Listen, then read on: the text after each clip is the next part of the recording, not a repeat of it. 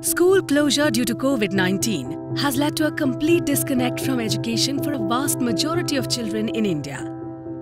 Nearly a complete academic year has gone by, with almost no curricular learning. Equally alarming is the learning forgotten from the previous years. This includes losing foundational abilities of reading, performing basic addition and multiplication.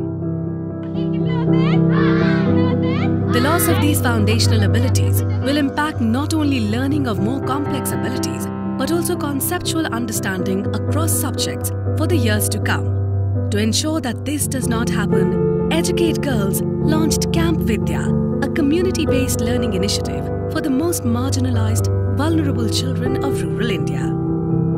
What is the impact of Camp Vidya? How did Camp Vidya create a safe environment for learning? How many camps are operational now and where? How many students are enrolled in its first phase? All this and more in this feature.